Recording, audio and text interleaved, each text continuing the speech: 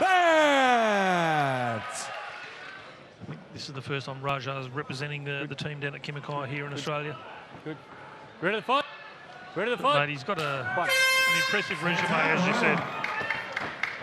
So for the viewers at home, Raja with the white trunks when he's not training, mate, obviously spends a bit of time in the tattoo shop.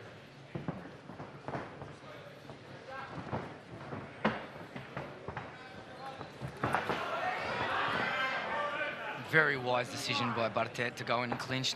Wanting to stand with Raja be a mistake. Raja might have his ground game tested, definitely his wrestling. See how he's prepared for this. He feels in great shape, awesome preparation period, no injuries. Mate, Raphael looks uh, looks big. I think he weighed in at about 67 kilos, but he looks a lot bigger than that. Raphael is one of those guys that he just doesn't stop training. He's always working. He's always working his, his, his improvements. He's always trying to improve. You know, just trying to reinvent himself every time he comes out. Oh, big looping left there from Raja lands that beautiful looping left hand. If he chooses to stand with Raja, this could be a this could be an early night. Yeah, and I think uh, Raphael's just felt the power of Raja. He's looking super composed there in centre cage.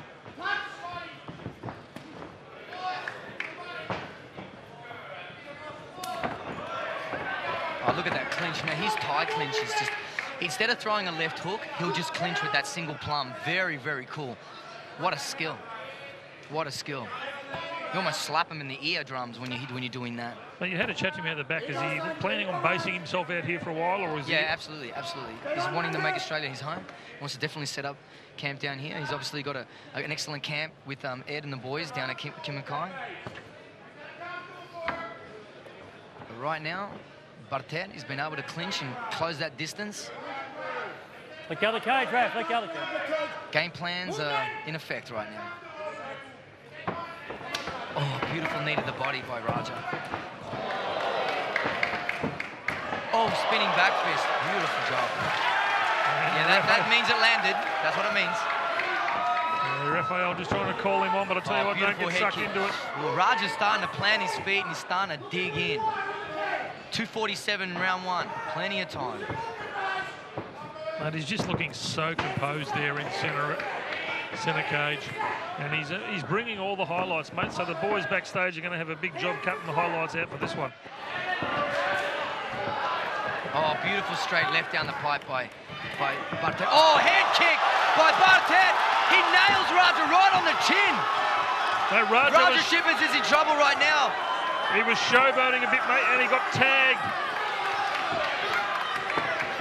Raja's going to have to work very hard right now to shake those cobwebs. It's not looking good right now. Berthet is doing a hell of a job trying to keep the pressure on him right now, Bushy. Referee's having a good hard look at it. Mate, still two minutes to go in this first round, and Raja was he was setting up some good highlight reels, mate, and he started to showboat a bit and got tagged by Raphael. He's got that overhook going for him right now. He, he, he doesn't look totally out of it. No, it looks like he's got his composure back, but uh, Raphael just like a bulldog, just trying to get straight back onto him. Raja bringing his guard up nice and high. He's trying to look for that armbar. He's trying to go for it. He's got his ankles crossed. Hard to see from this position. Crossing the ankles doesn't put enough pressure on the neck there when you're chasing that armbar. He might be just faking the armbar and looking to go for the knee. We'll see how he goes. He might go to a leg transition here. Usually when you see him underhooking that, that uh, left leg, they might be looking at using the armbar as a bait and then going for a knee bar. We'll see what he does. Berthet is doing a good job staying heavy and, and, and putting plenty of weight, sprawling and stacking on that arm. You don't want to pull away from it because it actually straighten your own arm out. You want to keep your weight on top and stack their hamstrings on top of their chest to try and soften the pressure.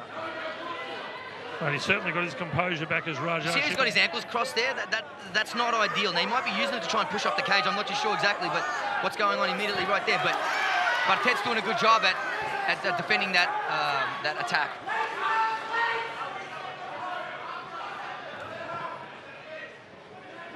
He's looking at setting up the pyramid. He's got wrist control there. He's trying to bring up. He's got that overhook on the left, wrist control on the right. You can see him bring his left leg over. There it is. He's going to look for a triangle. He's got the triangle. This is very dangerous for Raphael Berthet right now. If he underhooks the leg, he can cinch this up. This could be curtains. If Raja can just underhook the leg, he's got a straight armbar on that as well. Berthet's going to... Oh, he slams his way out. Oh, my God. Raja's out. He's out cold. Mate, there you have it, mate.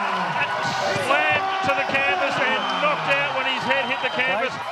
Raphael was almost out of it, Frank. Let's have a look at some of these highlights when they come up. But, mate, you never say never in centre cage.